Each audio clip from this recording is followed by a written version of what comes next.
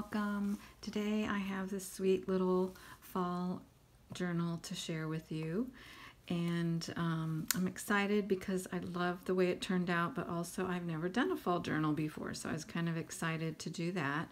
When it came time to do my um, Tsunami Rose design team project for this month, I decided to do a fall theme. So this one has this little cute, before I forget, little cute little pumpkin charm here.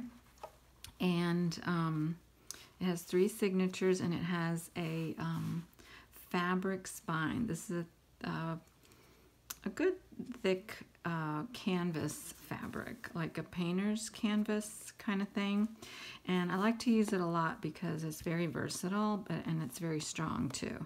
But having said that, it does have a um, very flexible spine as you can see. There's a little thread. and um, so you may or may not like that. I really like it because you the journal lays flat in all places. So let's go through it. Um, I used all um, Tsunami Rose digital images and I'll link to her shop down below and also list the kits that I used. So let's get started. This is an image on the cover from her kit, little wooden frame that I um, painted. Um, okay, so I have a pocket here with a faux postcard and bingo card. This is, again, all these are from her kit. They're just really, really pretty. I love the way those turned out. A um, library, faux library card and um, a little crocheted doohickey. Tiny doily, I don't know what that's called. And I put some Edith Holden pages, and each signature I put one page, or a double page beautiful book page. I did a little bit of stamping, not a lot, on tea-dyed paper. And then I also made this little card with a crocheted image on it that I just thought was so darn cute. This um, this is um, paper from Tsunami Rose, or Tsunami Rose Digital Kit of coffee dyed paper, which I love using because I will probably never go to the trouble of making paper like this. And it's so easy to print it out and it looks so pretty. Probably a lot prettier than I could make anyway. So, tag. This is an old envelope. I just, I had thought about using it in the, I'll show you one I used later on in this journal, but I never did, but it's pretty, so I included it in there. And this brown paper is some paper that I dyed using acorn ink that I made myself. I love that deep brown color. It's just so pretty for fall especially. So some book pages that I thought looked nice. Here's an old ledger book and a little um, piece of a hanky that I dyed. Um, I love those colors with some things tucked in. And I also dyed this paper with a um, just a RIT dye in orangey color. I can't remember the name of it. These are the beautiful images from that kit. And here's the faux, I mean the old um, envelope that I did use because I just thought that looked so pretty on this paper. With a little faux postcard tucked in and I left it, oh, I'm now having trouble getting it back in, and I left it, I open up the top so you can put a um, tag there.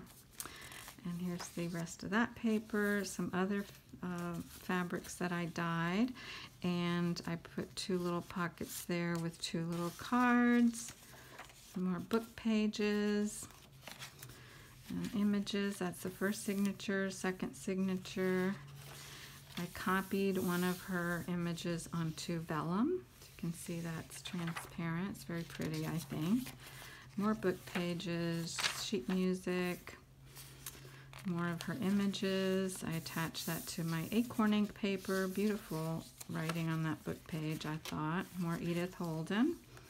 Pretty um, scrapbook paper. And it's funny because I came across the scrapbook paper and I had no idea where I got it from or anything about it, but it matched nicely here.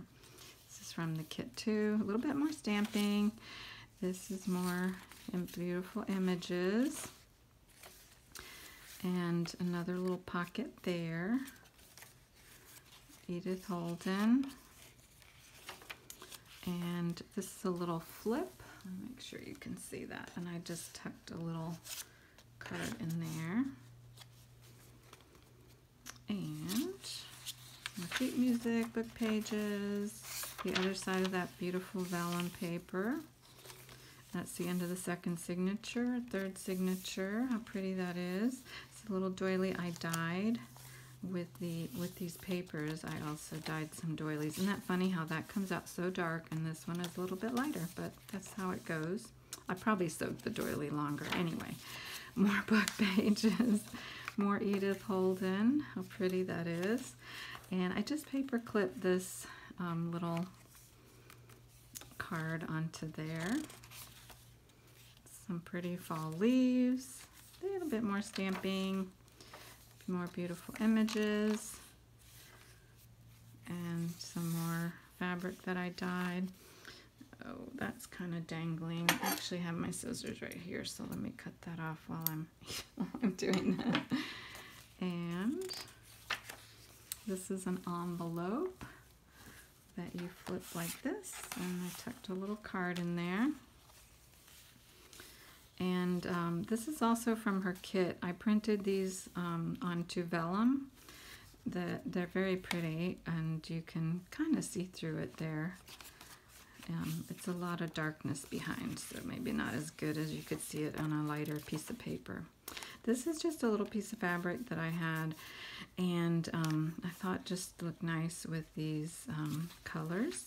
There's that doily, and that's the end of the journal. Little pocket in the back with a couple little cards tucked in. And that's the back of the journal. So that's it. I hope you like it. This will be available in my Etsy shop, which I'll link below. Thanks for watching and see you next time.